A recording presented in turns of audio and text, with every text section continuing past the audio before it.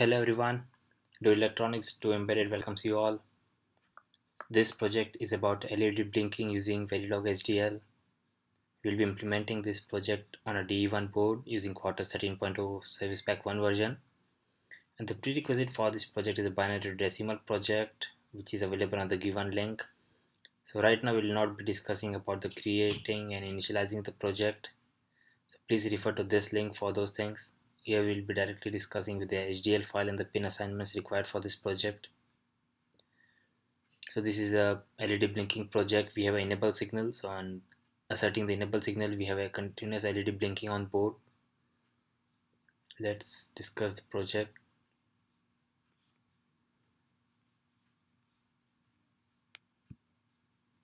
So this is our HDL file. We have a input enable signal we have output signal for LED and we have input clock signal. And we have a counter to create a delay for LED blinking which is 23 bit. So after overflowing the counter we toggle the LED so this is the out. So as counter reaches 0 we have our output toggling.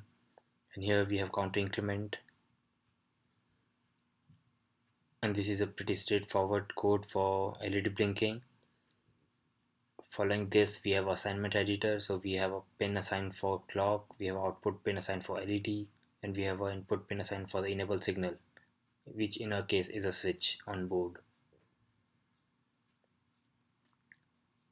We'll further go with the execution of project.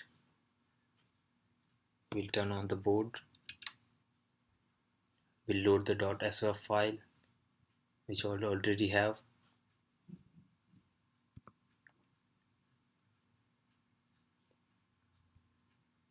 okay so now you guys can see the LED is not blinking because the enable signal is not asserted. So I'm asserting the enable signal.